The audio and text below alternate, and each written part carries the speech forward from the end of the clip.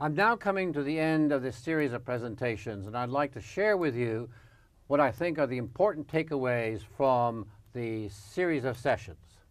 So the first takeaway is that the forecast is always wrong, where always is in quotation marks, that it is the probability of any deterministic forecast of what will happen over a period, not just at the end, but all the ways in between, the probability that forecast represents what actually happens is very small. Other things happen because there's variability, first of all, because the world changes, there's new technologies, new competitors, uh, economic good situations, bad situations, new regulations, whatever, things happen and the future is not what the single forecast might be. That's number one. The second is the complementary aspect that since it's wrong, we ought to recognize the reality when we do our design and we do our calculations as to what is the best solution. Otherwise, if we don't recognize that, we get a wrong valuation from it and we get the wrong answer so that you need to take that into account. In particular, we need to do it because of that phenomenon, that fact of the flaw of averages. That is, if you calculate the value of the system using the most likely parameters for it, the average demand, the average cost, the average use, and so forth, then you'll get the wrong answers. This is a mathematical triviality in many ways, but we've got to keep it in mind because it means that that shortcut route that needed to be done in the past but does not need to be done in the age of computers, it leads you to the wrong answer. We need to take into account the range of possibilities that occur so we get the right answers.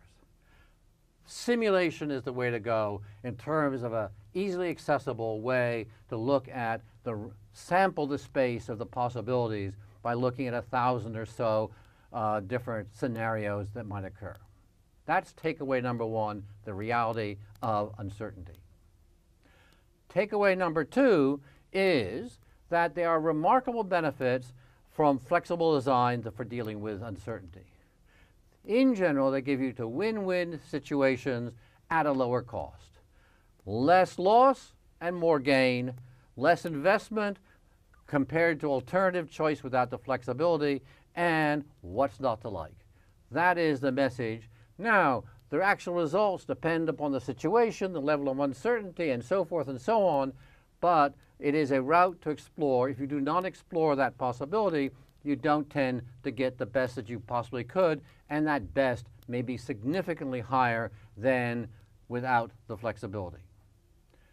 There's two references on it that I could share with you. The first one is this book of uh, a few years back uh, by the MIT Press. It's Flexibility in engineering design, which I co-authored with my colleague Stefan Scholtes at Cambridge University in the UK. And the second one is coming out uh, in 2018, very soon now, or maybe, but when you listen to that, it's already come out, and it is push, push, published by Wiley in the UK, and it's flexibility and real estate valuation under uncertainty.